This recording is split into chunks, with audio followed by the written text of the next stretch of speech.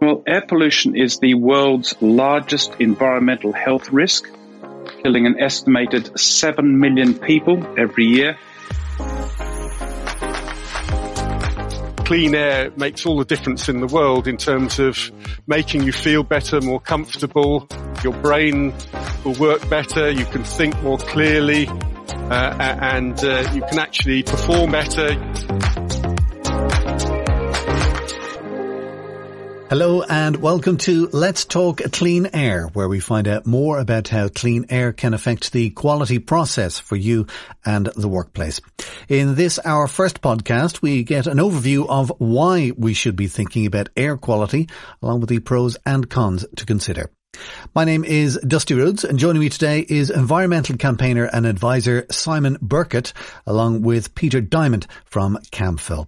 A little about Simon Birkett. He moved from a career in finance to found Clean Air, a campaign to help the City of London comply with WHO guidelines for air quality.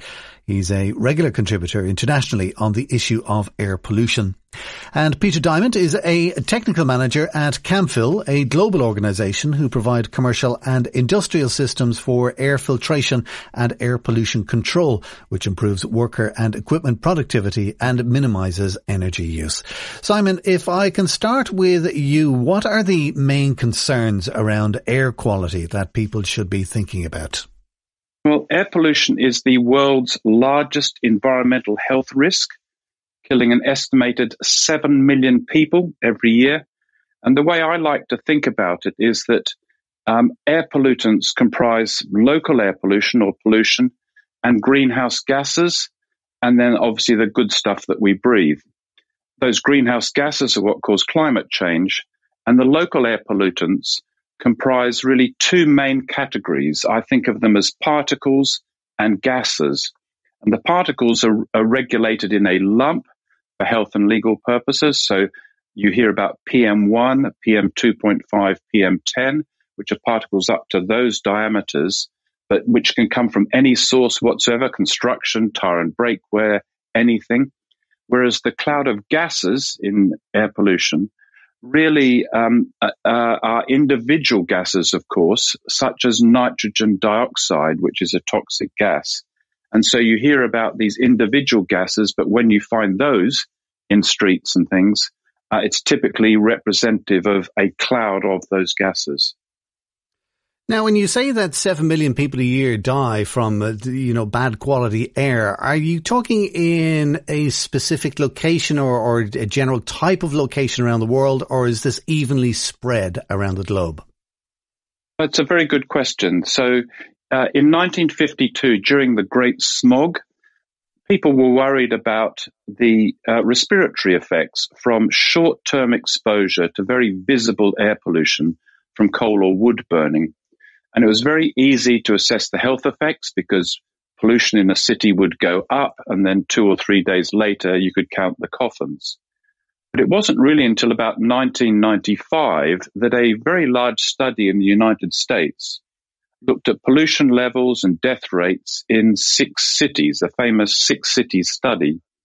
And what they found was that long term exposure to fine particles, PM2.5, was actually a much bigger cause of uh, death on average than what happens during some of these air pollution episodes, which had been reduced by things such as the Clean Air Act.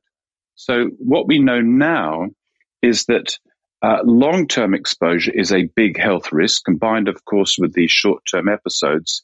Uh, and that, of course, can um, hit you or me anywhere in a city or town. So, near busy roads, um, near factories, places like that, but also in near other sources outside towns, you know, such as airports or or big uh, agricultural installations. Hmm. Now, as we know, legislation and law and regulations take a, a, long time. And you mentioned 1995 there, where they're kind of going, this is a serious problem and it's killing millions of people. Is the law catching up? Are there any regulations being pushed through now about air quality?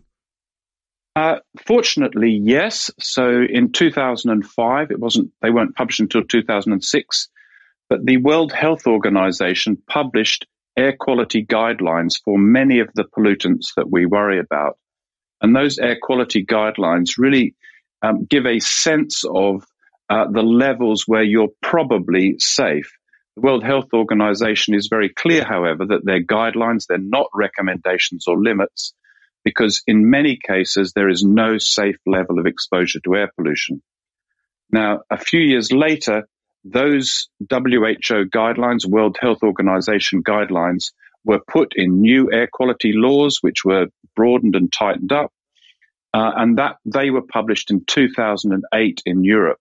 And those binding legal limits have been a big, um, a, a big force for good in terms of cleaning up our air in cities. And we've seen some quite significant changes, uh, particularly, for example, during the pandemic. But what is surprising is that while um, diesel pollution um, uh, was much lower last year during the various lockdowns, uh, which is not surprising because um, uh, vehicles haven't been on, on the roads. But what is surprising to me is how much it has fallen, which shows the extent of the problem of diesel. But also, we found that particle levels, these um, PM2.5s, PM1s, PM10s, did not reduce even during those lockdowns. And actually, ozone was worse in many cases inside cities and outside. Is there anything that can be done about that? Uh, there is. Um, what we need to do, most important, is to think of the air as one thing, not as air quality or greenhouse gases or other mm. things. And by thinking of it as one thing, the, the solution just sort of stares you in the face. We need to get to zero air emissions. We need to hammer down all sources of, of air pollution uh, inside buildings and out. Because if we do that, we protect public health and, of course, we protect ourselves and fight against climate change. So we are at risk of air pollution pretty much evenly across the globe. So it is a planetary thing. Of the people who live on this planet, as in us human beings, what kind of people are most at risk? So around the world, uh, there are some countries which are exposed, uh, where people are exposed to more of one pollutant than another. So, for example, in India or Eastern Europe, people can be exposed to agricultural, you know, um, you know, burning of stubble and things, or coal-fired um, power stations. Um, in cities uh, in Western Europe, we're worried about um, different sources such as diesel fumes and gas heating and cooking and wood burning. Um, different people are affected by this. So, if you think of, uh, I guess, a category of vulnerable people, uh, children um, whose lungs, for example, are growing and their bodies are developing, if, if their lung size is uh, doesn't fully develop or it's reduced, of course they never get that lung size back. So that will affect those children's uh, health for their entire life. Uh, older people, frail people with weaker lungs or hearts, of course, are at risk. Uh, many people who are sick, say, for example, in hospitals. But I think there is a large other category uh, of people who are vulnerable because of underlying health conditions.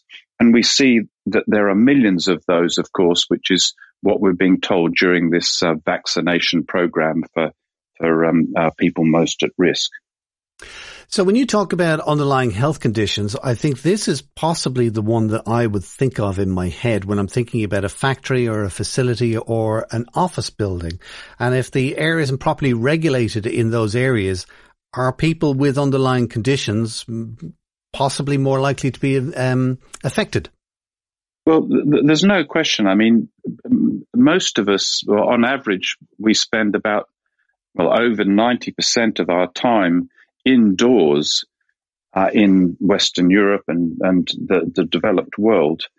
Uh, and of course, what we have uh, indoors is, of course, the fine particles and gases from outside, but we also have a whole uh, range of uh, sources of air pollution from inside, such as you know, dust, um, uh, candles, fireplaces and stoves, aerosols and pathogens such as viruses, volatile organic compounds um, from cleaning products, formaldehydes from furnishings, and of course, nitrogen dioxide and carbon monoxide from gas heating and cooking. So you've got this real cocktail of pollutants indoors, plus what comes from outdoors.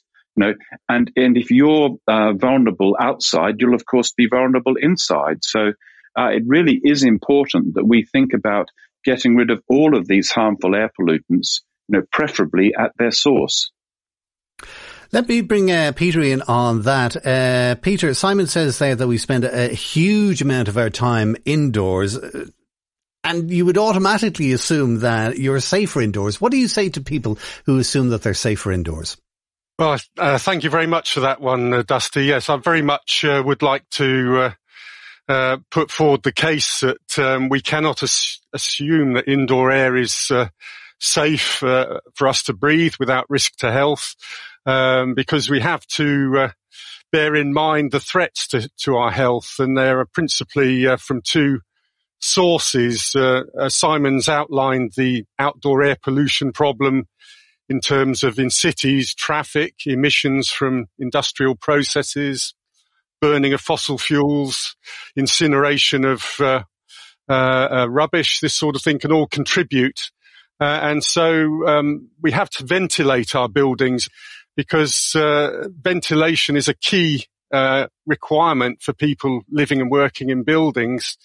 Uh, and uh, we need to, if nothing else, dilute the air from uh, and relieve the uh, level of carbon dioxide because we need to replace that and disperse it as much as possible, particularly in crowded indoor circumstances. So the two main risks to health are outdoor air pollution coming in from diesel traffic emissions or uh, even boilers and burning of fossil fuels. There's a lot of outdoor uh, sources, but indoors it's the risk of transmission of uh, COVID-19 based on aerosol hmm. particles mm. that are emitted from infected people, ventilation systems when they're properly set up uh, uh, with uh, good uh, air cleaning capability can offset and mitigate both of these sources of concern. Uh, and in fact, uh, you know, we're, we're under a major threat to our health from COVID-19 air transmission. And we've always been, uh, for the last 10, 15 years, subject to high levels of outdoor air pollution in the form of uh, as Simon has said, fine combustion particulates, is PMs, particulate matter.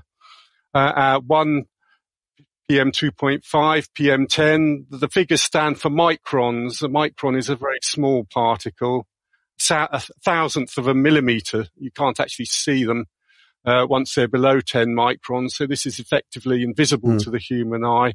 But the small particles, the reason they're damaging to health is they can penetrate very easily into the human body. They can be inhaled and uh, the very small ones, the PM1s, one micron and below, which uh, uh, form a lot of the virus particles and a lot of the traffic emissions uh, can actually get right down into the lungs into a little air sac at the bottom there known as the alveolar. And it, could it could it be a case then because indoors is a more concentrated uh, and, and, confined area that the air indoors is is actually more dangerous than the air outdoors? Well, certainly it is if you consider, you know, if you get one or two infected people in a building uh, and you get a build-up of uh, infective particles, very mm. much it can be very dangerous. Uh, and also, as uh, Simon mentioned, you get indoor sources of uh, pollutants, VOCs as they're known, volatile organic compounds. Uh, you can get um, all sorts of uh, gaseous emissions, even nitrogen dioxide inside, although it principally comes from a lot of the outdoor traffic emissions, that sort of thing. So you need to be looking at World Health Organization uh, factors that give you uh, the limits for exposure. Very important to consider. Mm. And uh, air is actually categorized by technical standards, European standards, and there are very good world standards for judging uh, if you want to clean the air, air filter performance. And that's where we need to be focusing our, our attention if we want to have air cleaning uh, systems that are fit for purpose. So tell me, what, what are the three main standards then that you use? Okay, well, the first one, which is very important, it's the overarching standard, is EN 16798-3. That trips off the tongue, I know. Um, but uh, that one covers essentially it's energy in buildings, but it actually uh, outlines the requirements for air filtration uh, as well in part four of the standard. uh, as well as part three. Uh, and what the standard actually does is categorize the air. So it uses the World Health Organization limiting factors, for example, PM 2.5, 10 micrograms per meter cubed, uses that as a factor to determine how clean or dirty the air is, whether it's fit to breathe.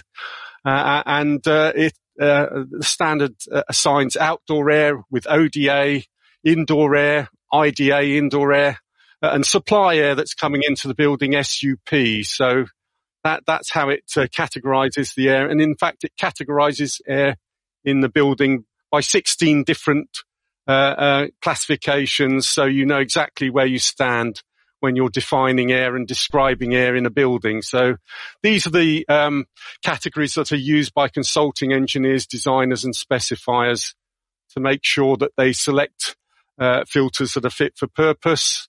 Uh, and the way you work out whether an out, a, a, supply air filter is fit for purpose is to uh, work out what the concentrations of, for example, PM 2.5 are indoors and outdoors. And then you get a ratio which determines what filter efficiency you need to choose. Tell me, as, as somebody who's not familiar with these things at all, how do you actually measure these things? Well, um, there are two main principles you can use. There's the laboratory instrument for measuring particles, uh, known as particle counting very accurate, extremely expensive, uh, and so therefore it tends to be quite often used in laboratory testing, uh, although there are portable units that are quite good and accurate, but they have to be quite frequently recalibrated in order to maintain their accuracy. Uh, and then you have what is known as air monitors, which are not quite such good accurate technology, but they're certainly these days uh, uh, definitely good enough to tell you if you've got a problem in terms of uh, uh concentrations of particulates. Uh, and you can actually get measurement sensors for gases as well. So the technology is there and some of the best air monitoring units can be used not just for outputting data, say to a mobile phone network and a, you know, what we call a dashboard, which gives you temperature, humidity and PM1, PM2.5 concentration as a curve on a screen in real time, storing the data in a mobile phone network. Um, but it can also give you a control function. So you can control a number of air cleaners or air purifiers at the same time and set limits. So you've really got a closed loop of monitoring and control now that's available for people. And we're getting a lot of interest now in offices and schools and you know, building managers are very keen to uh, um, look into this and come up with effective solutions because of course, currently schools are no longer being used. So you have to protect people, not just in buildings, but specific buildings where you get a lot of people. Schools, hospitals, offices. These are the important places. And of course, uh, people are more than uh, uh, welcome to adopt this technology for their home use because a good monitor like this is probably mm. around about five, six hundred pounds, something like that. So it's, although it's expensive, when you consider what you get, uh, it, it's uh, very uh, important, and it gives you an idea of how bad the problem might be in terms of air pollution. Uh, we talk a lot about the dangers and, and, and uh, painting gloom and, and, and doom and stuff like that. What are the benefits of good air in a building? Well, health. Um, um, people talk these days a lot about well-being, uh, and uh, it's very much the case that uh, if you have good air quality, and I be preaching to the converted, uh, if you're an asthmatic or, or somebody who has respiratory problems, uh, clean air makes all the difference in the world in terms of making you feel better, more comfortable, uh, and your your your body just functions better. Your brain will work better. You can think more clearly. Uh, and uh, you can actually perform better. So that's of hmm. interest to employers and people, uh, you know, students who want to learn, uh, teachers who are trying to uh, train and teach people, uh, and everybody benefits. It, it, it mm. really is a, um, you know, virtual. Can I just jump in there, Dusty? I mean, I think you know one of the things I um, you know talk about when I um, um, talk to people in you know at events and things like that, because a, a, lot of people know that air pollution is a problem, but but quite often they don't know what to do about it. And I say, well, look, why don't you start by walking down the side streets rather than down the busy roads where all the trucks and the buses and so on are. And, and quite often, when you see people again a few weeks later, it's almost as if the scales have dropped from their eyes. You know, when you walk down those side streets, of course, it's quieter and nicer, but actually, you can actually feel that the air is cleaner and you feel better. And, and it's to me, it's this the opportunity to grasp this sort of cleaner air world, whether it's indoors or outdoors, which really motivates me and why I've spent 15 years campaigning on this issue. Simon, do you think that the air quality regulations need to be readdressed? Uh, that's a jolly good, very timely question because the World Health Organization is expected to publish this year in 2021 new air quality guidelines. I don't have any inside information about that, although I did attend a meeting with the World Health Organization at the beginning of 2020.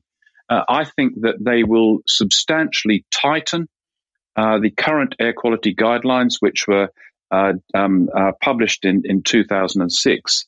And I think that would just be another reminder with what we're obviously hearing about climate change, mm. why we need to hammer down on all of these harmful emissions at their source.